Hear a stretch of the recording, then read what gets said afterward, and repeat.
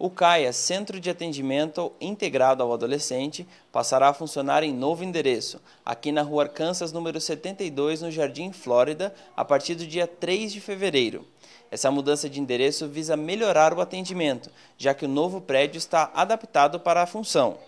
O CAI atende diariamente uma média de 50 jovens e adolescentes, vítimas ou autores de violência, realizando um acompanhamento multidisciplinar, com terapeuta ocupacional, assistência social, atendimento psicológico, oficinas terapêuticas e encaminhamento para a rede pública de saúde.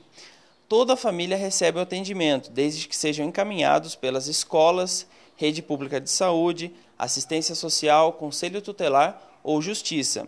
O CAI atende de segunda a sexta, das 7 às 17 horas. Para mais informações, é só ligar no 3953 7375. Sérgio Golini para a TV Câmara Jacareí.